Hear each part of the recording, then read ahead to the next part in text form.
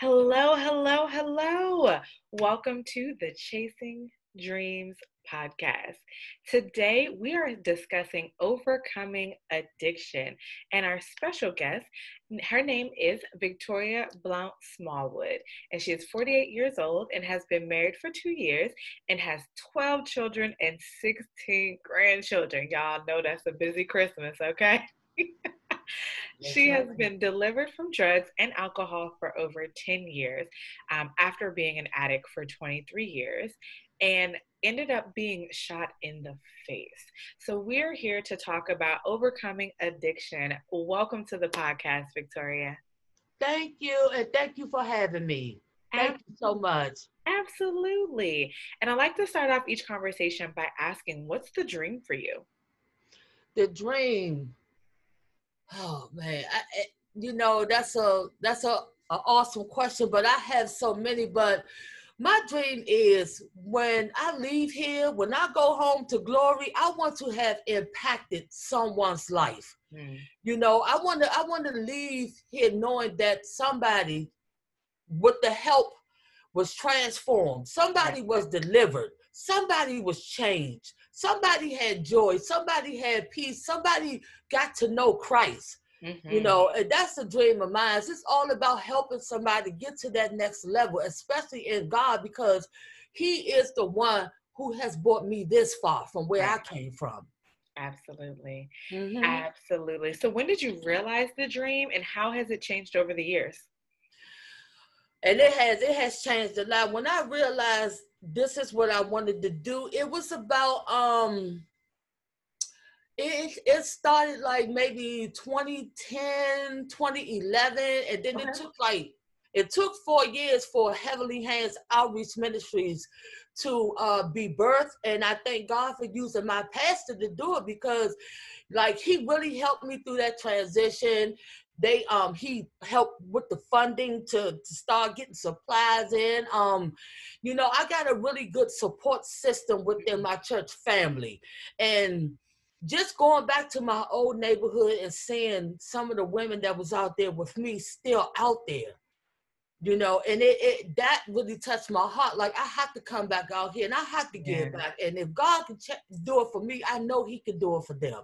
Absolutely so tell us a little bit about your journey towards overcoming addiction oh my goodness it, it was you know what um it was a long journey you know, I I, I battled with um, many addictions for 23 years. You know, um, prostitution was one of it. Um, the alcohol, um, the crack, uh, the dope, the marijuana, the PCP. I, I pretty much did everything. But um, after I got shot, you know, I can't say I ran right into the church, but after I got shot, it was a wake up call and it slowed down my process of drug use. And um, then, you know, then my mother finally got tired because she had had my kids all these years. So my mom finally got tired, and I made a promise to my children that whatever happened or how hard it got, that I would never leave them again. And that promise was what,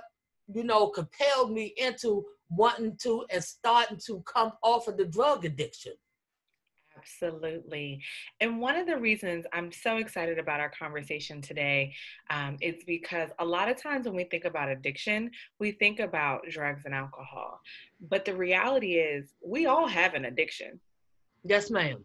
Now, whether it's visible to the public, that's a whole different conversation. But everybody's addicted to something, even if that's addicted to your ego.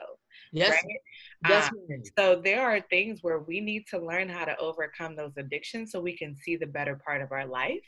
Um, and one of the things I love about what you just said, um, and it's a conversation I have with all of my coaching clients, is your why has to be stronger than your desire.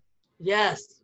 Yes. And when you found that why, which for your case was the promise you made to your children. Yes, ma'am. That why helped you, I, am guessing. Um, but yep. It, it helps you stay committed to that goal because it's not just I want to.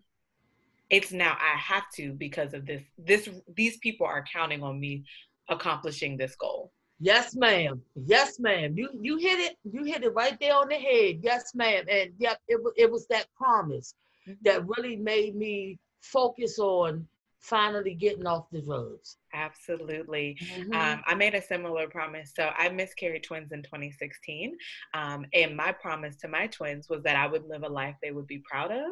Um, oh. And every day for the past, you know, four, four years, even when I don't feel like, you know, doing X, Y, or Z, or I'm tired, or I don't want to, or etc., I constantly make an effort to be show up in the world as the best version of myself because of that promise.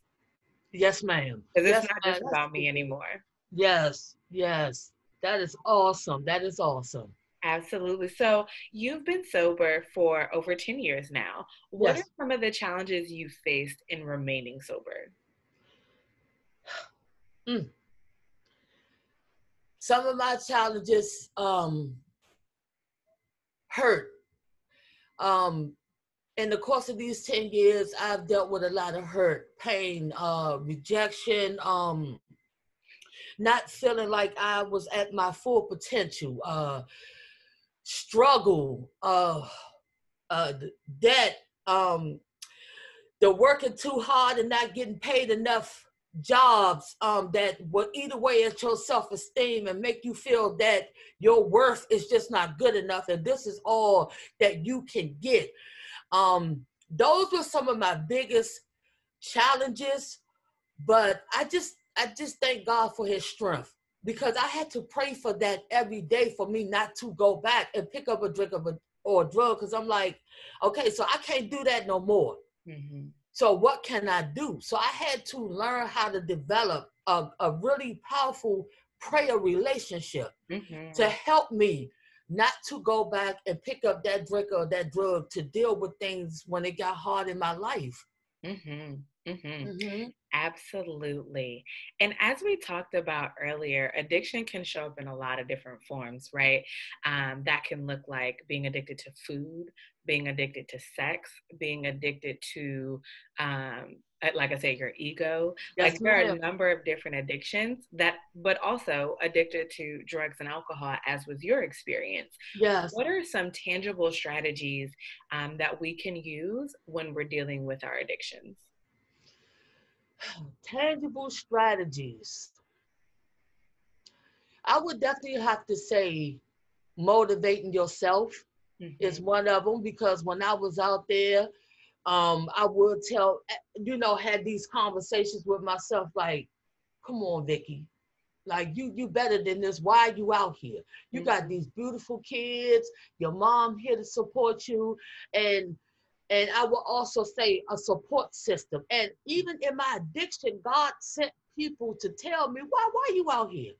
you shouldn't even be out here and mm-hmm. things, you know, things of that nature. You definitely, I would have to say, conversations with yourself, having a good uh, support system, and also remembering the person that you are, you know, to help you overcome. Because when we lose ourselves in low self esteem or not feeling worthy, mm-hmm. then we lose consciousness of, you know, what this life is about, what life is about, and what our being is supposed to be. Yes. Mm-hmm. Absolutely. So, what would you say is your number one secret to success? Wow. I got to give all that to the Almighty God. Yes, ma'am. You know, I hope I'm not being too spiritual, but He is just the head of my life. And if it was not for God, I, I wouldn't be here. And, you know, God knows us so well. And, you know, if I could be transparent Absolutely. as possible, um, Girl, I love me some men back in the day. I love me some men. Okay. So what God did was he sent a young man to minister to me while I was out there. That that um eventually this young man took me to church. Mm. So it was God that led the whole way up yeah. to the success that I am now. Yes. Mm-hmm. Love it. I love it. I love it. Um, and don't feel like you have to not be spiritual. We talk about Jesus on the oh, thank you. Thank, okay? you. thank you so much, Tiara, because I love the Lord and yeah. I love talking about him, especially when it pertains to my life, because if it wasn't for him and the love he had, his grace and mercy, I just would not be here today. Absolutely. He could have very well let me die out there the night I got shot, but he didn't. Absolutely. Thank mm-hmm. you so mm-hmm. much for sharing. Uh, so, what final thoughts do you have for us as an audience? My final thoughts is we know God can do anything and nothing is impossible without Him, but you have to be willing. We have to be willing participants. For that change to start, you have to really, really be willing and you have to have an awesome mm-hmm. support system around you that can give you the good love and the tough love mm-hmm. to mm-hmm. get you through it. So that would be my final thoughts. Absolutely. This has been a great conversation. Um, where can people find you if they want to connect with you? Um, I know you have some awesome t shirts, so where can we find those? Um, yes. Um, you can find me on Facebook under Victoria Blount. Um, my uh, Heavenly Hands is on Facebook page. You can look that up. I am on Instagram at Vicky2 Victoria, and I'm also on YouTube at Heavenly Hands Outreach Ministries. I have four entities where you guys can reach out to me if you need to. Awesome. Thank you so much uh, for joining us on the Chasing Dreams podcast. Thank you so much for having me. Absolutely. All right. Thank you. Bye, guys.